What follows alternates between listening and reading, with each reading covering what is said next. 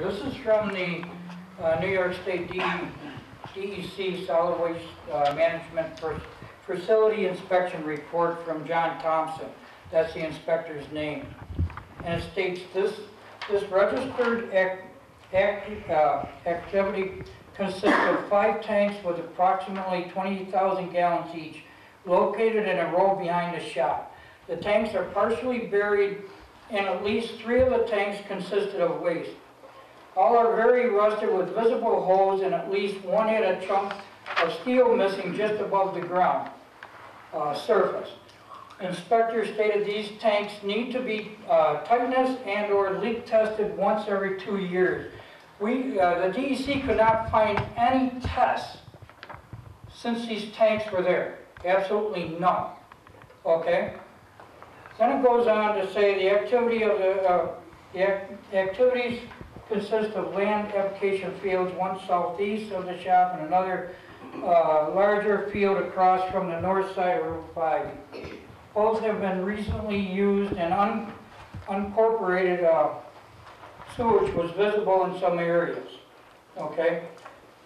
Uh, What that means is that it hasn't been turned over, okay, yet.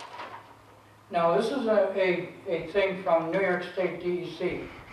Okay, and there's another one here, because they only inspected twice. And that's what got this ball going. What, what usually happens with the DEC, the, the DEC won't do anything, they won't even monitor.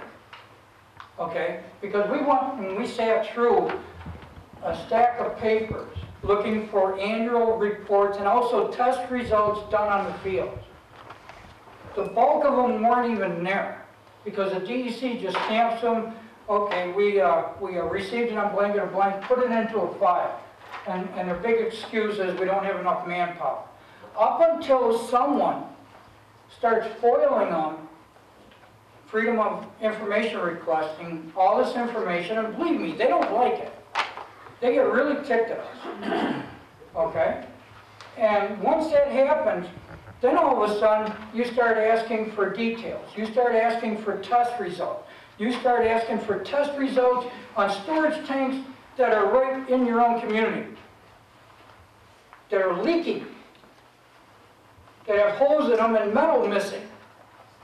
Now, it's bad enough on the fields. And so, then the DEC says, wow, we gotta cover our, ourselves. So we better do something now. And guess what happened? Full investigation. The same thing happened with the whack of milk when we stopped them. Multi-million dollar corporation. They killed 144 fish and we stopped them just by doing it by this way. Okay?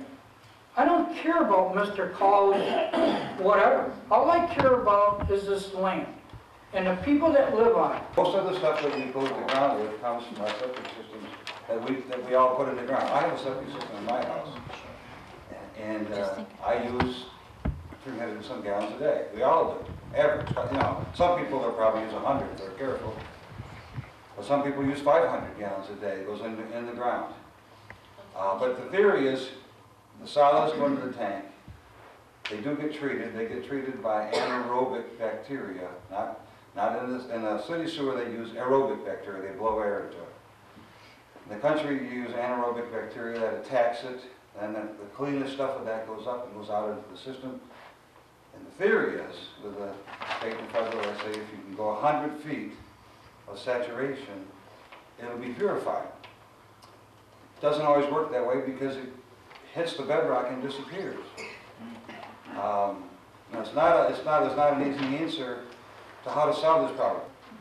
I would, uh, I'm hoping that enough people will speak up and say, we don't want this in our community. He has another option. It's not like he all of a sudden is gonna shut down.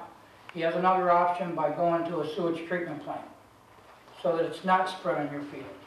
Because I'm telling you, with figures like this, we've already talked to the EPA about a brownfield site.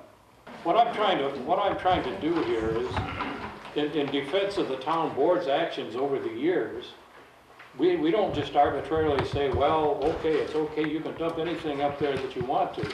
This is all done through, our planning board investigates it, We had, the DEC has permits that we look at, the planning board looks at. We're becoming the dumping zone for metropolitan areas. And what happened in 1998, all the biosolids and sludge, they used to take them off in barges, dump them in the ocean.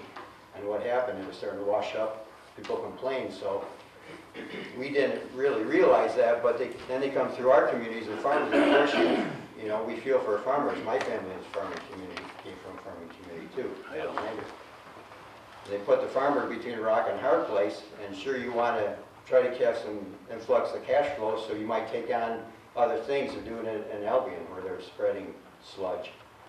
But it's a, it's a means to a bad end, and that's the thing of it. And I hate to see our rural community become the dumping grounds for not, not only metropolitan areas, but every community around or anybody that's willing to take this stuff in. And that touches on the fracking issue too. That's why so many people here are concerned about the waste of it, because it can come in the back door we may not know about, so there's a lot of concern.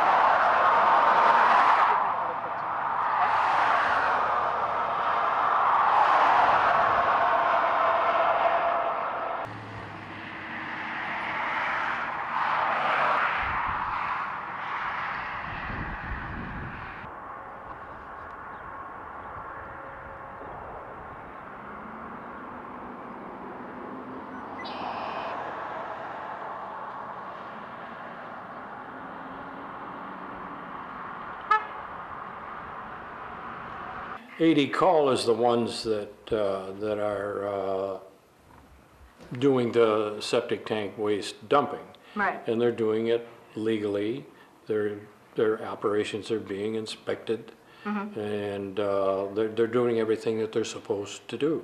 Mm-hmm. And uh, I, uh, they're, they're pointing a guilty finger, I think, at them, but they're doing everything that they're supposed to do.